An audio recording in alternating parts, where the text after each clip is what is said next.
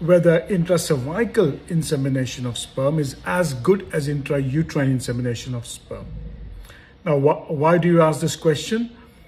Because with donor sperm, often some people believe that since there is no male factor infertility, inseminating the sperm in the cervix or self insemination, which may be carried out outside hospitals, are as effective as intrauterine insemination.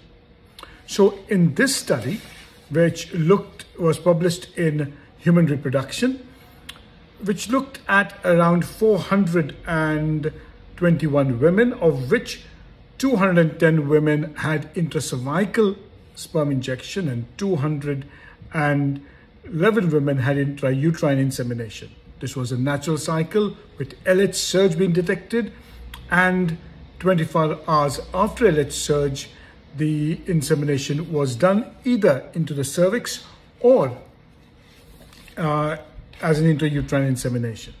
If you look at the results, and this was carried out for about eight months for a maximum of six treatment cycles.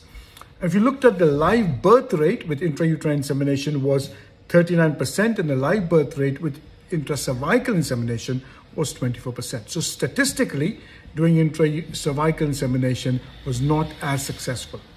Now, so what was the recommendation from this paper? The recommendation was that in, in gay women, it is, would be better to do intrauterine insemination and that would give you a better chance of success.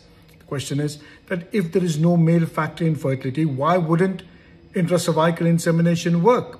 And that could be mainly because in the case of frozen sperm, its motility is restricted and delivering the sperm closer to the uterus and uh, to the tubes may facilitate a better fertilization. Thank you for listening. See you next time.